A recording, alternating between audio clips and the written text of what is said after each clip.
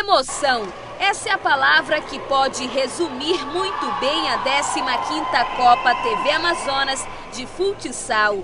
Nesses quatro meses, 230 times passaram pelas quadras onde os jogos foram realizados, mas somente quatro foram para as finais. No masculino, Grêmio Ajuricaba e Sociedade. Este último levou o título. Já no feminino, Ninhos de Águia e Salcomp. Esta última grande campeã.